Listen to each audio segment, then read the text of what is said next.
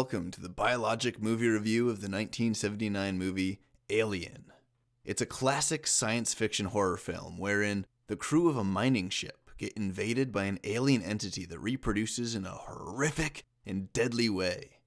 I'll skim through the movie's plot and spend a few minutes talking about the various aspects of biology that the movie portrays.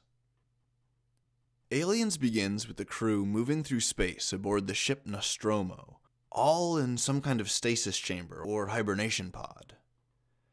The ship's computer detects a distress signal on a nearby planet, and as a basic procedure, it awakens the crew. They all appear to thaw or rewarm out of this hibernation pod, and then slowly wake up. The crew members make sarcastic comments about how uncomfortable it is to be in an induced hibernation, and they all get dressed and have a nice breakfast of space food. The concept of induced hibernation, as it applies to space travel, has been a popular concept in science fiction for decades. And the neat part is that it's actually potentially feasible. By studying the various ways in which animals hibernate, we can learn how organic bodies can be manipulated such that they mimic or induce outright hibernation.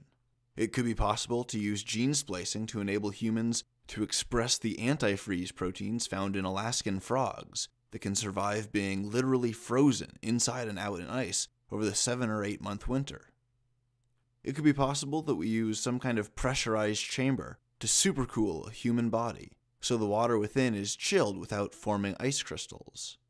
Any ice crystals formed during hibernation would destroy cell membranes, and basically, any ice crystals formed during hibernation would destroy cell membranes and basically tear the individual apart on a cellular level. It's most likely that we'll be able to induce hibernation through some kind of repetitive sleep wake cycles, like bears do, which are another endothermic mammal alongside humans. Anyway, the crew is awoken from stasis, and they identify the source of the distress signal detected by the ship's computer. They go towards the source, which turns out to be an alien ship derelict on the surface of a rugged planet. The crew goes inside the alien ship to explore, and they find a series of rooms. Uh, in one of them, they find a large dead figure, which they assume is the alien pilot. And in several others, they find that the rooms are full of large eggs, stuck to the ground with some kind of alien goo. Instead of a hard shell, these eggs have a have a fleshy outer covering. They're like a, a almost a living organism in and of themselves. They have four fleshy flaps on top and as the crew are looking around, one of the eggs uh, opens its flaps up. Its flesh kind of curls backward like a blooming flower. A member of the crew, uh, an officer named Kane, he goes to look into the egg sac and gets attacked by a facehugger. This is some kind of intermediate stage in the alien life cycle. Both the intermediate stage and the parasitic incubation are actually biologically feasible and quite common. Many organisms on Earth have an intermediate stage in their life cycle, which acts as little more than a gamete transfer shuttle or some kind of vector like that. And there's another life cycle that involves the individual's like primary morphology that you might recognize. This is called the alternation of generations, and it's really common in plants and funguses. Many species of insects are known to forcefully impregnate other organisms with their eggs, such that the eggs enjoy the warm, moist protection of the inner guts of some other creature like a spider or a crustacean. When the eggs hatch, the baby insects literally eat their host from the inside out, so that the host's body, its still living body, acts literally like a guaranteed meal for the newborn bugs. In the movie, the facehugger deposits an egg in Kane's stomach, and it rapidly grows into a fetus. As the panicked crew make the fateful decision to take Kane back on board, the alien fetus is inadvertently carried into the ship, and when it reaches term, some hours later, the alien fetus bursts out of Kane's chest in a spray of gore, and it slips away into the ventilation shafts of the ship. It's awful and nightmarish, and it makes for a great sci fi horror scene. But as far as biology is concerned, I don't see anything impossible about this so far, with one exception. The alien grows stupidly fast. Through the whole film, the alien grows so ridiculously fast, it almost broke my suspension of disbelief. I mean, it, it kind of did in a way. I mean, the alien entity grows from a fetus the size of a Subway sandwich to a murderous beast larger than a grown man, all in like the same day. It just it's a matter of hours. And this is ridiculous because its body would need biomass from somewhere to grow. It can't just generate biomass out of nowhere.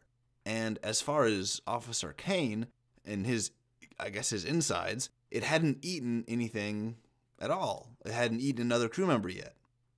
I suppose it's hypothetically possible that the alien has a super efficient metabolism and can somehow digest and derive energy from damn near anything, kind of like a goat. If this is the case, and I suppose it would necessarily have to be considering how fast it grows, then it also makes sense that the alien's blood is highly acidic. Frankly, I think the acidity defies realism a little bit, because the blood flowing in the alien's organic veins is about as strong as super potent industrial acid used to melt metals. The alien's blood melts through multiple decks on the ship, boiling right through the metal walkways and paneling. My problem with this is how does the alien's body not keep the acid from dissolving itself? How does it prevent its own blood from melting its own body? Does it melt the outside of its body, even though it apparently can't melt the inside? Uh, our stomach, the internal conditions of our stomach, is pretty acidic. And our stomach protects itself from the stomach acid by constantly producing new cells in the inner lining. This constant reproduction of cells keeps up with the rate of their decay as the stomach acid dissolves the outer layer. But if the alien entity were forced to do this with all of its veins all of the time, that would become ridiculously energy and nutrient intensive, like impossible to handle. It would be a hugely limiting and disadvantageous evolutionary trait. Although, I suppose it might theoretically be possible if the alien was some kind of silicon or mixed silica carbon entity, with an alternative biochemistry that somehow allowed it to easily handle strong acids like that. The real core of the movie's horror comes from the alien hunting down and slaughtering the crew one by one, as they become increasingly desperate in their attempt to find and kill the alien. The sole survivor is the main character, and Ellen Ripley, played by Sigourney Weaver. Ripley defeats the alien by blasting it out of an airlock, wherein the alien attempts to crawl into one of the ship's engines on the outside. But Ripley fires up the engine and blasts the alien into an ionized vapor. The movie ends with Ripley getting back into stasis, returning to where she started in the beginning of the movie, minus every other crew member. All in all, Alien is a great science fiction movie, and it's a great horror movie. It became a classic for a reason, and it presents a fascinating but creepy and unsettling universe for us to peer into. The way biology is presented in the movie is somewhat bipolar. The use of stasis for long trips through space, the use of a human body as an embryonic host, that kind of stuff is possible, or at least feasible.